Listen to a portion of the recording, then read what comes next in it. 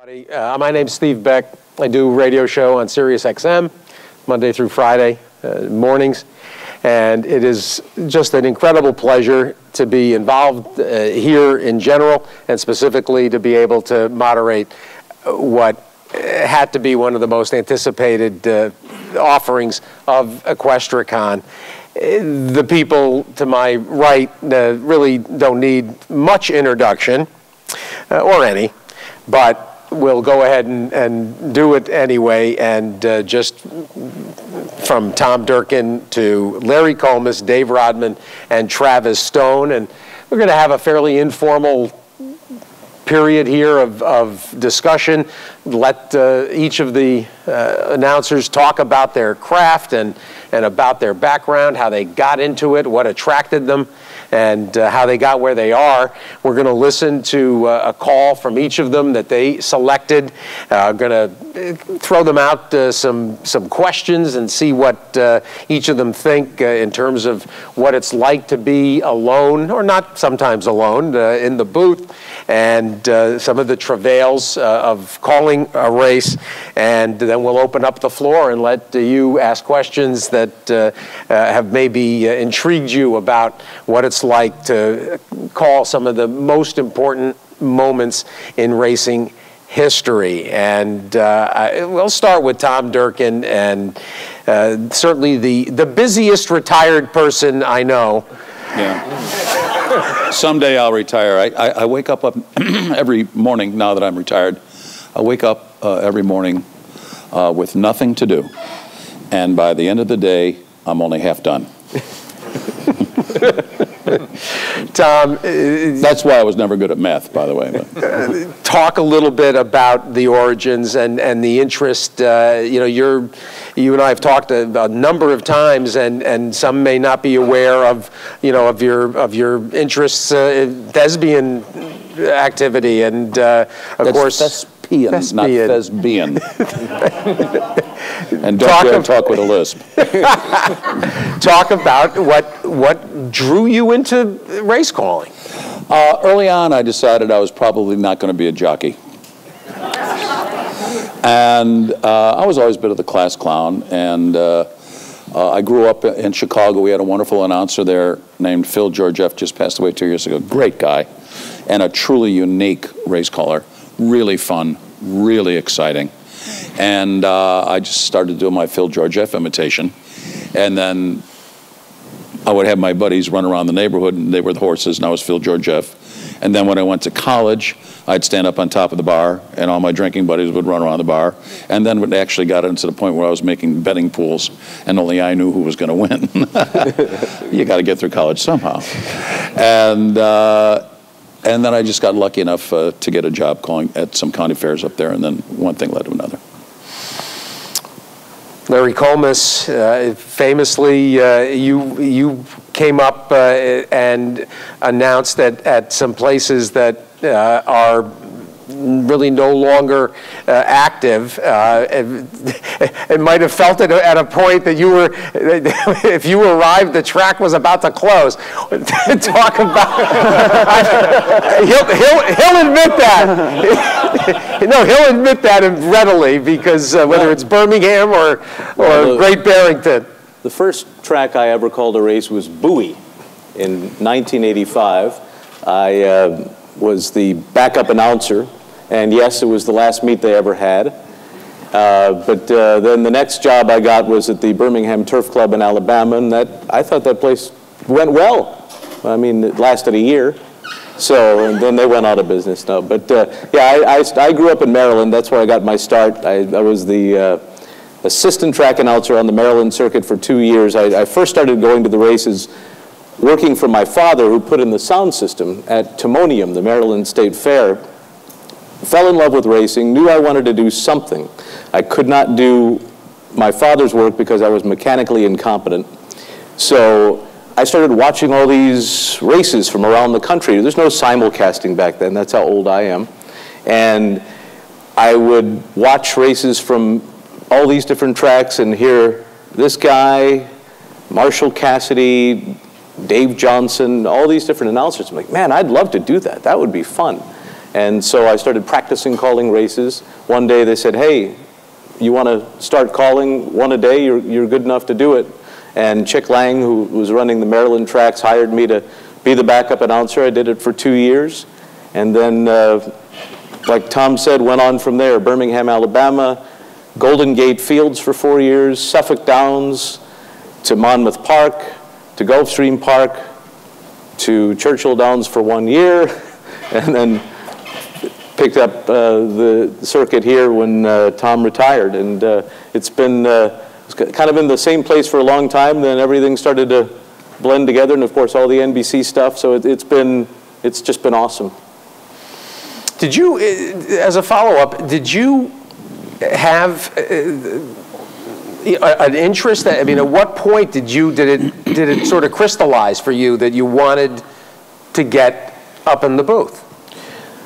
I was just, I really enjoyed listening to the different styles and, and thought that there were so, so many different ways of calling races that you would hear. And, and I, I just thought this, and, and the atmosphere of being around the racetrack, I always thought I fit in.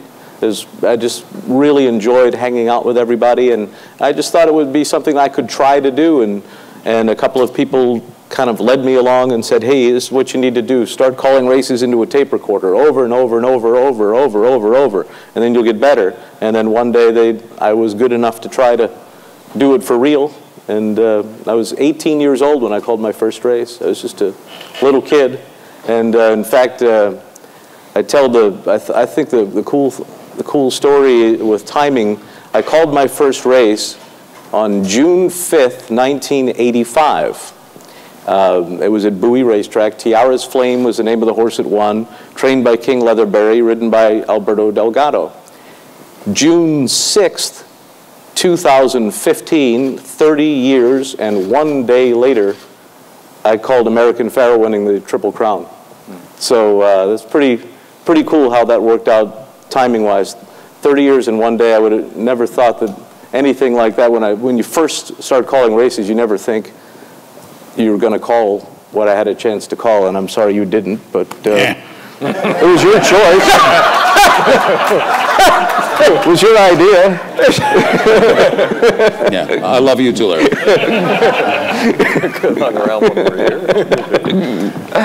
well, we were, of course, speculating that you might not have had a chance to call one, or you had chances to call one. The races didn't come off, but you will get to the Derby win, and uh, we, we all, that was one of the first things that we thought was, was going to be wonderful about Always Dreaming was uh, maybe, maybe Tom didn't get a chance to, to make a, a, Triple Crown call, but he might have a chance to own a, a Triple Crown winner. Dave Rodman, for you, uh, and, and we had a wonderful visit uh, at Preakness last year and talked about your career and uh, you know you have have been an absolute basic stalwart in the Maryland circuit uh, for an extended period now. And, and, you know, Larry talks about, you know, the, the itinerant nature, and, and it, it is a job that that can take you from place to place. Tom, you had, uh, we'll go through some of the places, uh, including your harness days. But Dave, you've really, you know, you are the Maryland Jockey Club for so many fans of, of Pimlico, uh, Timonium, and, and Laurel. Yeah, we're very lucky in Maryland that it's basically year-round again. So uh, in Maryland racing back on, on, the on the upswing. So, uh, but yeah, I have moved from place to place at, at times. Uh, I want to say thank you, Dad, for bringing me to the track when I was a kid. I think uh, you know our first experience uh, was when our fathers brought us to the track. Uh, he never he, he, didn't live long enough to hear me call a race. So, but. I, I, you know, that was my first experience going to the track with him at the fairgrounds. And the smell of the corned beef back in the day when you walked in the clubhouse, it was like part of the, all the atmosphere that I really kind of fell in love corned with. Corned beef's kind of uh, scented with cigars. Yes, yeah. a little bit. That's what smokes it, actually. um, so that was my racing experience as a young person, but it started in radio right out of high school as a disc jockey uh, on an AM radio station. Uh, began playing records, went on to work at a major station in New Orleans uh, for several years.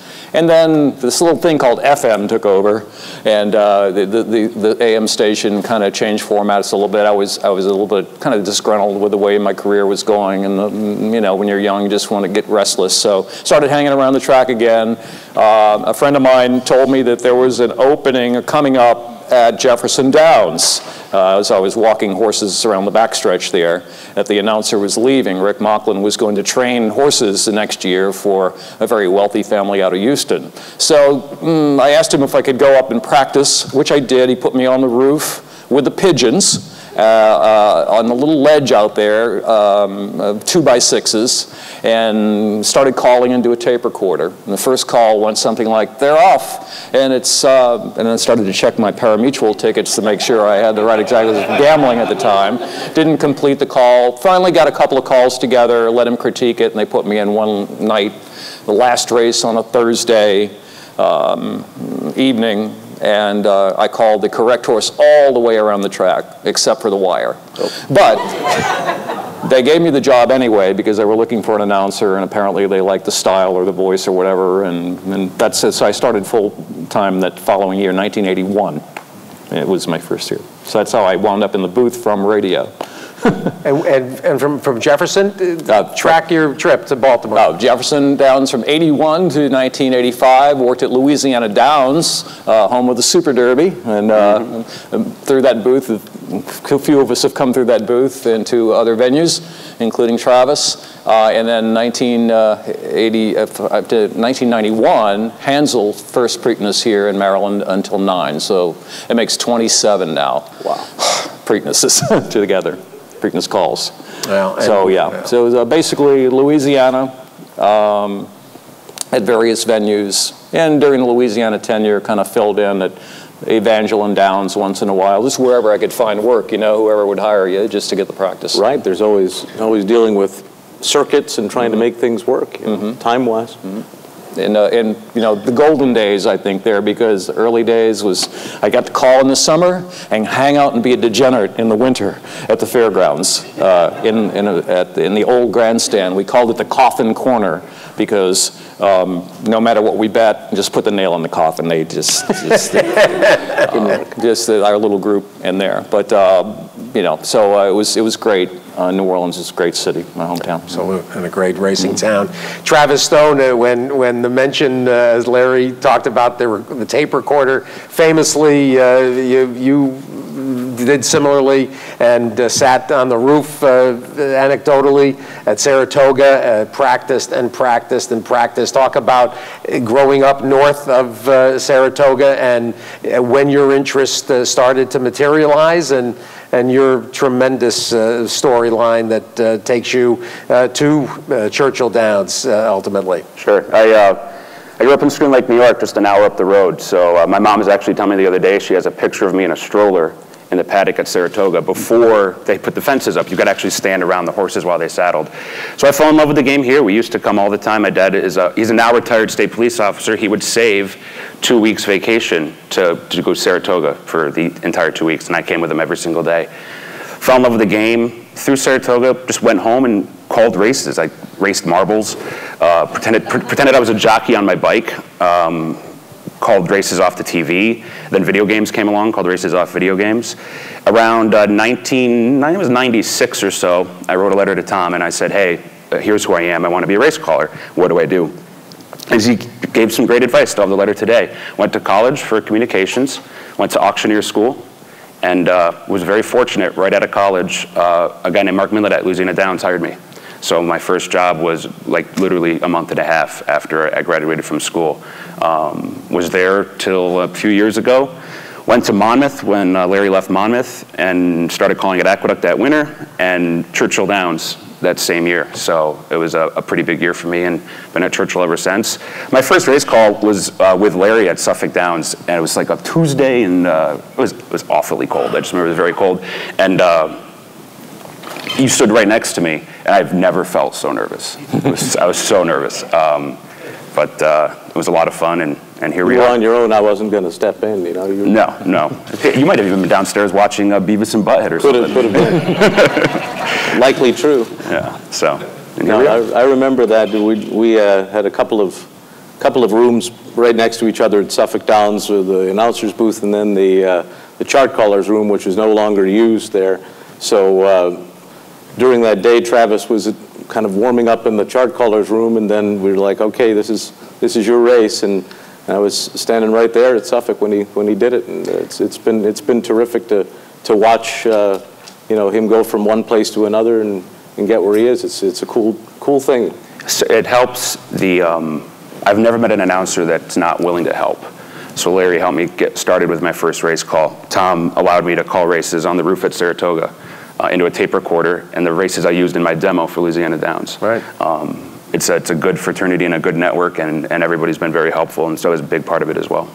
It's funny that you, uh, the auctioneer school, uh, it just so happens that uh, Kip Elser introduced me to Chris uh, Pratt uh, last week, and he told me about the Indiana, the University of Indiana program that he that he conducts, and uh, I was I was amazed actually. Where where, where did you go for auctioneering? Uh, Missouri Auction School, and actually I watched Smarty Jones lose the Belmont uh, while I was at auction school. So um, you went, I, it's like an eight-day program, very intense in terms of vocal training and uh, you know uh, exercises and how to breathe and things to say, uh, but also a lot of auction math and estate sales and things that I was not interested. I just went for the uh, for, the, the vocal stuff, yeah. And um, in fact, probably the one of the best lessons I was ever taught was there was an old auctioneer with a cowboy hat and a giant Texas belt buckle. And I get up in front of the room, and it's it's unnerving. You get in front of everybody and you have to auctioneer. So, and we all suck because we're just learning how to do it. Um, and I started up with, I was too high in my register. He goes, wait, wait, stop. He goes, before you get on the microphone, go bing, bong, bing, bong. And he says, that bong is where you want to start talking. So before every big race, I go bing, bong, bing, bong, and then I turn on the mic, so I'm at the right level. Still Yeah. to this day. Can you still do the chant? If I can get a 25, but I get 30, but I get 35, yeah, I can do it.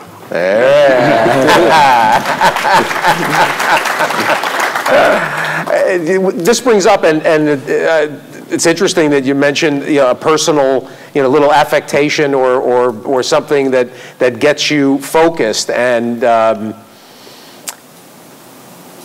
as it happens, I, I don't know if you remember this, Tom, but uh, near, right at the, the, last day uh, that you were calling, I, I came upstairs and I just stood in the back. I think it was the seventh race, and uh, and you had a, a, a little bit of a of an enunciation. You know, even at that point, you kind of reading through and and looking at at the at the the names of, of the horses in the upcoming race. Talk about your you know, your preparations and the evolution uh, in terms of the technical you know prep and and being prepared. Uh, in terms of, uh, of my voice, Just technically? have both the the, the voice, uh, the the mental the mental frame uh, frame of mind, the uh, the the habit and practice uh, of of uh, identification of silks. Uh, if if that's the method, everybody seems to have their own nuance. Yeah, well, uh, I think everybody just memorizes the silks. You can't really see the saddle pad numbers.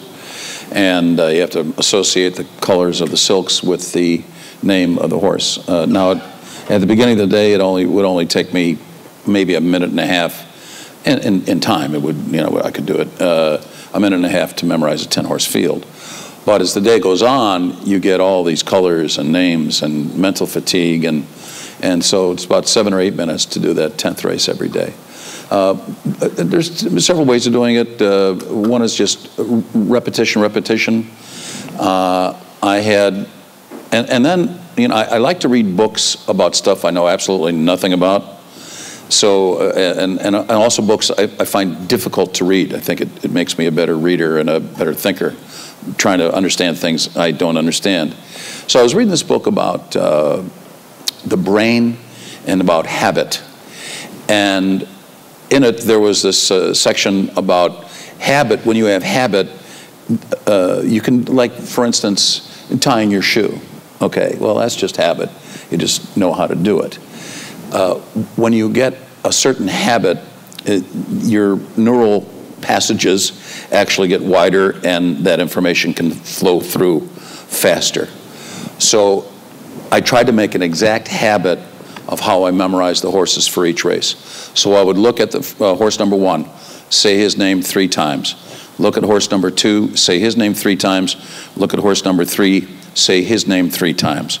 Then go back, horse number three, horse number two, horse number one, one, two, three, three, two, one, two, one, three, one, three, two, everything in threes.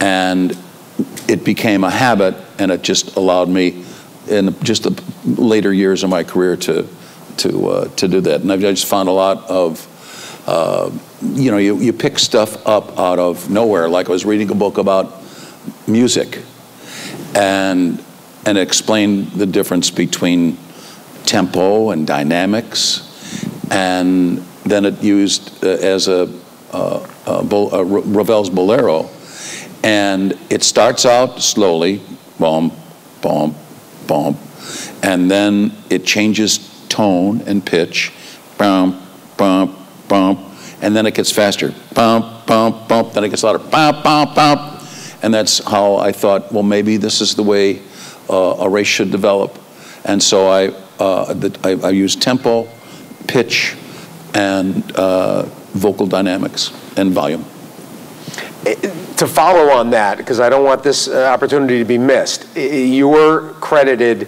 for basically uh, turning technical race calls into a story and and into a. Yeah, I w- I wouldn't take credit for that, but what I, when I first started out, uh, a lot of the announcers at that time, not all, but a lot, uh, it was just, you know, links and margins, links and margins. And, and that was uh, the accepted way to do that at that time. They, uh, tracks did not want their announcers uh, to be showy. Uh, they didn't want them to show so much, or they wanted them to be really straight because we're running a gambling house and you're the voice of this gambling house. You are, should be dispassionate. Uh, but it wasn't that way with everybody, certainly not for Phil Georgeff. So I wanted them to sound more like charts. So instead of looking at that chart where they have the links and margins, I looked at the footnotes in the chart. And when I started out, I just wanted the races to sound more like the footnotes. You know, for instance, so-and-so blacked, so-and-so checked, so-and-so wide, so-and-so hustled, and what have you. So I, I try to make more about the words than the, than the margins. And then that just got, you know, then I got carried away and it was ridiculous. Larry, for uh, similarly, the, the, the, the technical uh, aspects, uh, you know, one of, uh, one of the, uh, the real pleasures, uh, all too briefly, as I started to go to Triple Crown races in particular, was coming to Churchill and watching Luke Kruytbosch color the, the program with the silks. Uh, for you? So I, I was one of the, the few guys that did not use crayons and markers.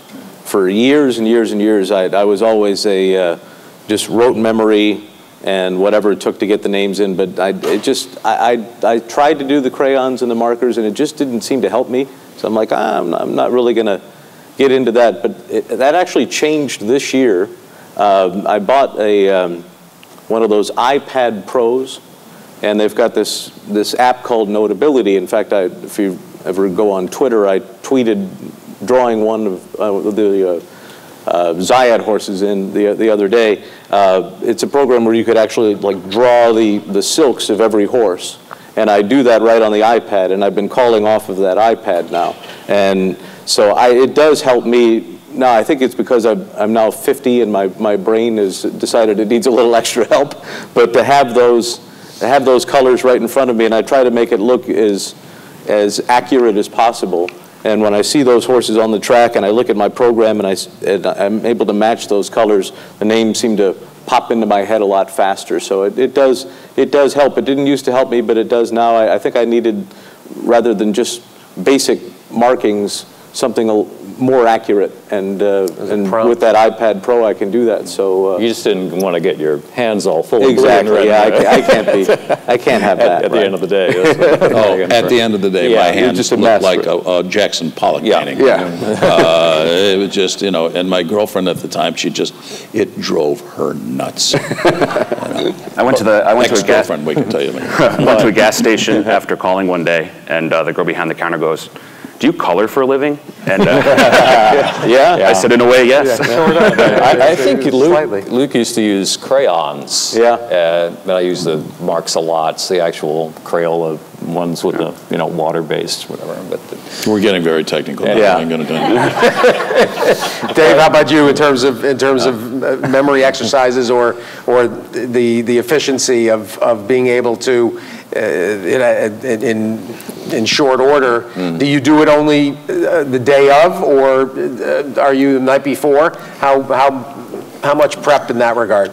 Uh, well, as far as the colors go, it's the day of, and I'm a, I'm a Crayola marker guy, marking the silks on the actual paper program. Um, and maybe I'll try the iPad. That's a pretty good idea and technology. Yeah, it's fun. But uh, I like it. Wouldn't be the first time you stole from anybody, did? Just kidding. few but uh, yeah, use use a crayon, the Crayola, whatever's um, markers. Um, but it's more out of habit because it's the way that uh, Tony Bentley at the fairgrounds used to do Tony it, Bentley. and he learned from Dave Johnson. Um, so it's the way I was brought up. But I'll mark them down. It kind of gives me something to do. I'll look at them on the track, but there's nothing beats actually looking at the jockey silks through the horses when they come on the track, and then also at the farthest point away from your point of view. So, say into the far turn if they're warming up around the far turn. Interesting. And especially like Preakness as they warm up, approaching the gate toward the quarter pole, because you want to get one. I try to look for one distinguishing uh, color on a cap, on a sleeve, a blinker, a shadow roll.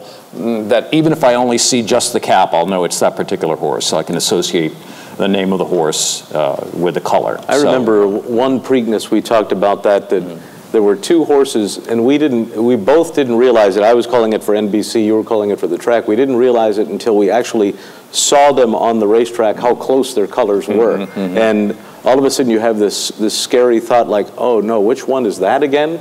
You know, before the race, and then that's when you have to start looking at equipment and anything that can separate those horses. it was Mucho Macho Man and someone else, I forget. They, was- they were very similar. Yeah. yeah. Or, or if it's a 10 horse field for the Preakness, I've managed to uh, to warm up nine of them perfectly, and couldn't find the 10th horse in the track. I have He's no behind one of those tents. Yeah, behind a tent or behind, behind a pony, or yeah, behind a tent or something like that. But- Maybe he jumped off and, and participated in that porta potty race they had.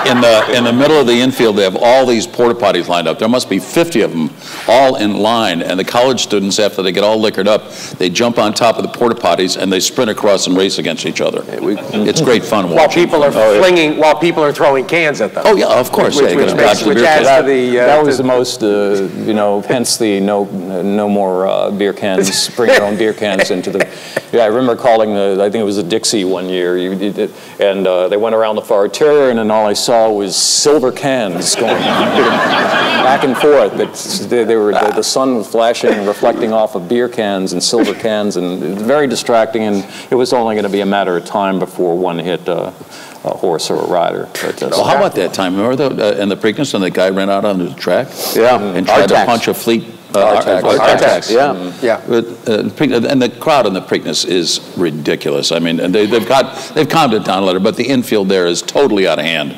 And the kids get in there and they start wheeling in half barrels at six o'clock in the morning when they open up the gates. So come time for the Preakness round, you know, at six o'clock, they are really tuned up. So on the undercard, Artax, who was I think he wound up being a sprint champion, this knucklehead from the infield, they're coming down the stretch, and he runs out onto the track and tried to punch Artax in the face. Yeah. And luckily, nothing happened except the guy had to go to jail, I hope, but oh, Michael that was crazy. I have a, I have a Michael, line. is that- yeah, yeah. If Yeah. it ever happens again, I have a line for that now. And you that know, is? There's a lunatic on the track. So, you know, in the, in the, in the, in the venue of pre-planning race calls, which we'll probably get into in a moment. Travis. there was also there was also a Nerf. I I forget which one, but there was also a Nerf football that that sailed onto the onto the track. Uh, On the far turn somewhere. I- Yeah. But I didn't see that, yeah. Well, we'll I talk, when, when we talk, when we talk with Fleet Alex, uh, because I, I've got a unique, uh, when the time comes uh, for your race call that you've picked out, and we'll talk about Afleet Alex and, and being, and being in the infield, which, which I was, and, and uh, how, how remarkable the whole thing was. Uh, Travis, and we're going to start to listen to the calls, and so for, for you, uh, talk about your technical preparation and, and what, you know, what habit and, and practice you engage in. I, I do the, probably the same thing. Uh, these guys do too. I call the silks on the program and, and memorize them and use that as a as a guide and a cheat sheet in the race if something's not coming to mind. Um, but it, it goes beyond that. You talk about markings on horses. Uh, I'll give you a story like uh, my man Salmon Exaggerator in the Derby. Uh, we talked about this Yeah. that year. They come onto the track and one's teal and one's green, but they look exactly alike. Uh, it was a little unnerving. And uh, they're on the far turn, and one of them is making a move. And the way Churchill is in the sun of the Derby, they're, they're sort of almost washed out, very bright from the sun. And the only way I was able to figure out that it was Exaggerator was because I recognized the way Kent Desormeaux sits in the saddle. So you learn how jockeys um, look, how they ride, things they do, and you can use that as a little bit of a guide as well, in addition to having the colors memorized and horse markings and uh, some prayer. A lot of prayer. Yeah. How about the, uh, the white colors, Tom? No, do we have to go there? Yeah, I- I- you know, Tom had one of the hardest derbies ever, I practically. Yeah, I screwed it up. Yeah, let's go, let's go right there. No, no, no, that's not what I was getting at. Name of the horse was Mine That Bird. And uh, I did not see him until very late in the call. He was a, a hopeless 50 to 1 long shot. And WinStar Farm had five horses in that race. Uh, and their silks are white cap, white silk. There you go, that's it. And so, you know, you, you, you fret about this, as Larry well knows, uh, before the Derby, about, uh, you know, how you can possibly screw up. And, and I've got five horses that have got the same silks. But in those cases, they put a different color hat on the horse. Uh, one might be white, one might be green, one might be black, one might be white and black, or whatever. So I called up the uh, director of racing there at uh, Churchill Downs. I really don't want to mention him by name, Donnie Richardson. I was going to say. And I said, look, you know, uh, you know, we're going to have five horses. It's a 20-horse field. One in every four horses in this race are going to have the same silks. So can you just tell me ahead of time which horse is going to carry which color cap? And he goes, they're, they're going to carry the same color cap. I said, well, how are you going to tell the difference? Not only me, but, you know, the 20 million people watching on TV. Man pays his money, you're going to put his horse in a derby. He got the right to have his silks. And I said, well, that's not how it happens. He goes, yes, it is. It's how it happens at Churchill Downs. And so he sent all five of them out, and he said, but, and I said, could he at least talk to the owner? He says, sure, you know. So call him back in a couple days. Nope, can't do it. All right. So I'm concentrating, I know I'm just concentrating on where those horse- horses are. I've got to keep, there's little subtle differences of marking on a horse's face and whatever. But when you get 20 of them in there, there you can't see everything. And uh, anyway, so I spent the entire call trying to figure out where each of those WinStar horses were. And my binoculars were just going like this, and I was talking and whatever. And when I was over here looking for one and back there looking for one, Mine That Bird and Calvin Borel uh, come up the inside, and I got them, you know, after he got the lead. And uh, it was a bad call. Uh, which is not good when 20 million people are listening and it's going to be on TV and it's going to be on your tombstone. and uh, so anyway, the next year, sure enough, WinStar's got a couple in there again. So I, I said, you know what, I'll, I'm going to do a little end around, and I called up Dave uh, Casner, Bill Casner, Dave Bill Casner, Casner. Bill, Bill, yeah. Casner, and uh, he's the owner. And I said, Bill, you know, I know it couldn't happen last year, but you know, could you help me out? And he goes, sure. What? You know, I go, can you put different colored caps on each of the horses? He goes, sure. Why not? I said, well, they called you last year, and, and you said no. And he goes, they never called me. Thank you for that. Thanks a lot. And so, uh, yeah, so, uh, yeah, when you get them, when you get doubles, fine, triples, quadruples, quintuplets, wearing the same silks in a 20-horse field, it's like you're screwed. And Well, not to of, mention, not to mention the mud that was, that that is Well, obscuring. there's that, you deal with it, yeah. know, La- Larry's based, based on that, Travis and I spend the entire Derby week, half the week, on the phone with the owners of multiple horses to try to get them to do that. And gen- generally, they're, this Yeah, year in course. particular, they were very helpful. Sometimes they're not. Larry and Travis have been proactive about that, and the Preakness too. Yeah. We had a couple of, uh, a couple of Yeah, similar. Calumet was Calumet terrific. They were so. terrific about it, so. yeah, So they just put different caps on them. No big deal.